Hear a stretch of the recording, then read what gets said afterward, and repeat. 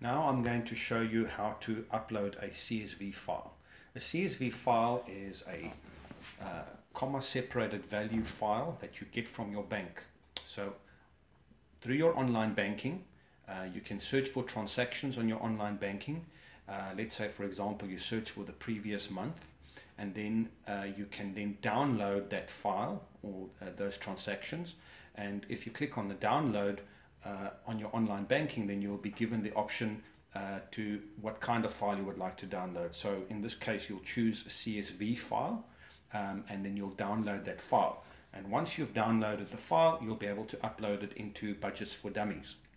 That's how we get transactions into the system. So click on upload and scroll down. Uh, you can see examples of what the file should look like before you upload it. Then choose your file that's the file that we just downloaded from the bank and click upload.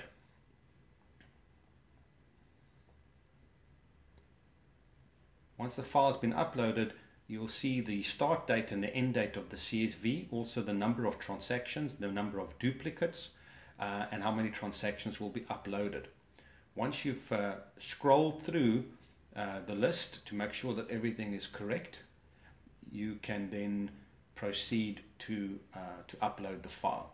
First thing you have to do is select the account you want to send it to and then click add to account.